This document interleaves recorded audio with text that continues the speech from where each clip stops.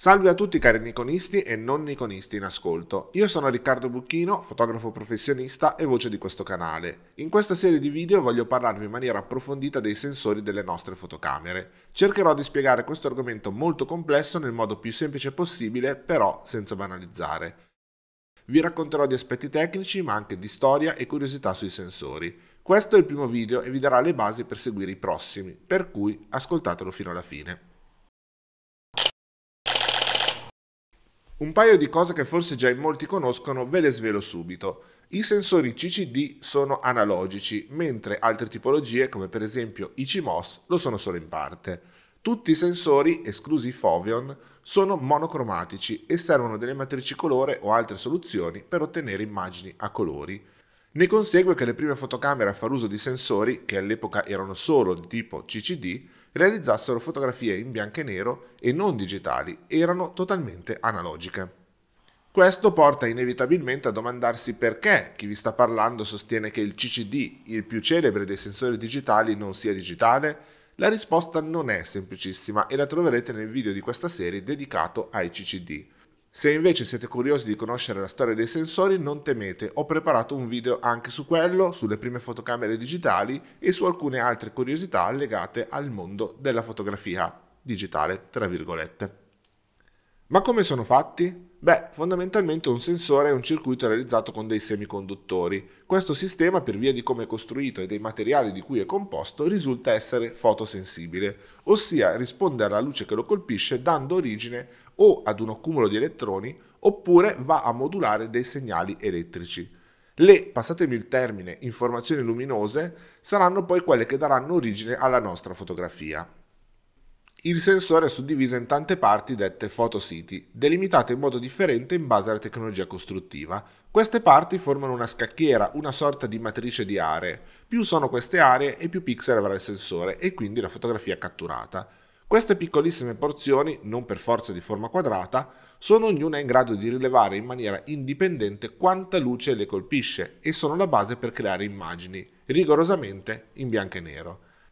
Chiaramente questa è una spiegazione semplicistica, nei video dedicati vi spiegherò in modo accurato come funzionano effettivamente i sensori CCD, i CMOS, vi parlerò anche di come erano i Super CCD di Fujifilm e i JFET Labcast di Nikon.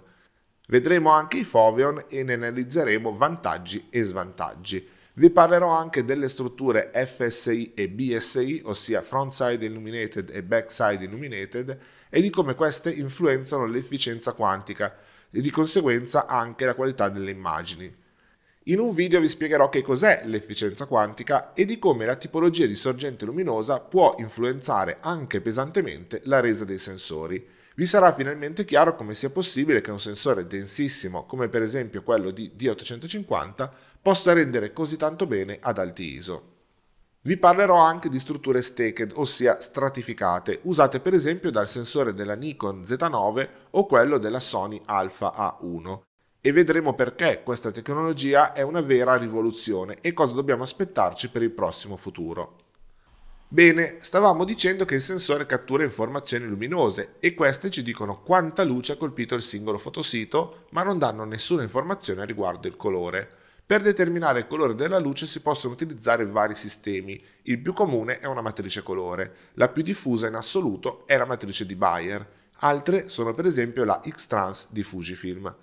Cos'è questa matrice colore? È uno strato di materiali sottilissimo che ricopre il sensore vero e proprio. Questo elemento permette di filtrare la luce con i tre colori RGB, rosso, verde e blu, o molto raramente altri differenti. Con le matrici più comuni ci saranno dei fotositi con applicato il filtro rosso, altri con il filtro verde, altri ancora con il filtro blu. In alcuni rari casi uno su quattro sarà senza filtro. In tal caso saremo di fronte a delle matrici RGBW, bianco, rosso, verde e blu. Ma più comunemente le matrici usano solo i tre colori RGB. Lo schema di questi filtri colorati può variare, per esempio X-Trans e Bayern non hanno la stessa matrice. Quello che accomuna entrambi è che ogni 4 fotositi ce ne saranno due con i filtri verdi, uno rosso e uno blu. Esistono poi metodi alternativi per rendere a colori un sensore che altrimenti sarebbe monocromatico. Il più noto è il Foveon, che al posto che usare una matrice colore usa più strati sensibili a lunghezze d'onde diverse posti uno sull'altro. Vi sono anche altre soluzioni, una per esempio consiste nello scomporre la luce nei tre colori RGB usando un apposito prisma e poi catturare le tre immagini risultanti con altrettanti sensori. Altre ancora comportano l'utilizzo di filtri intercambiabili, ma sono generalmente tecnologie che non si usano nelle fotocamere commerciali. Vengono utilizzate in astrofotografia o, come nel caso dei 3 CCD, erano largamente impiegate in dispositivi come le telecamere analogiche.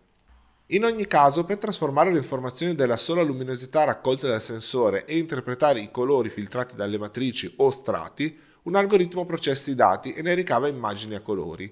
Tutta questa parte del colore è argomento di un video dedicato. Davanti a sensore ed eventuali filtri colore troviamo a volte delle micro lenti e sempre un filtro che viene comunemente ed erroneamente chiamato low pass. In realtà non è un termine sbagliato ed è convenzionalmente accettato come corretto, è solo molto riduttivo. Si tratta di una serie di filtri, generalmente vi è un low pass, un high pass e a volte ci sono anche degli anti-aliasing ma tutto ciò sarà argomento di uno specifico video in cui vi parlerò anche dell'importanza delle microlenti, specialmente quando si usano lenti dal breve tiraggio progettate in epoca pre-digitale, come per esempio molti obiettivi Leica a baionetta M. Ho intenzione di realizzare un video anche per parlarvi del binning, dirvi cos'è, raccontarvi la storia di alcune fotocamere che hanno questa tecnologia e spiegarvi perché quando vi dicono che un cellulare fa il binning dei pixel, in realtà vi stanno mentendo. Infine, un filmato sarà dedicato a un argomento molto gettonato, ossia cosa realmente sporca il sensore, e vi darò alcuni consigli per far sì che si sporchi il meno possibile. Ok, questa era solo l'introduzione. Se vi sembra che vi abbia dato già tante informazioni, sappiate che abbiamo appena sfiorato la punta dell'iceberg di nozioni sui sensori. Anzi, non l'abbiamo nemmeno sfiorato l'iceberg, lo abbiamo guardato e molto molto da lontano.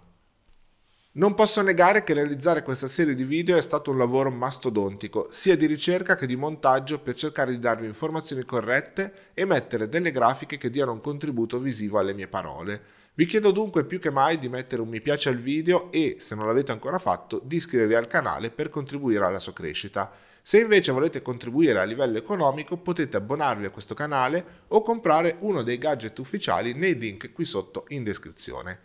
Grazie per aver visto il video fino in fondo e buona visione del prossimo. Se sei arrivato fino a questo punto commenta scrivendo più sensori per tutti. Ciao da Riccardo Bucchino.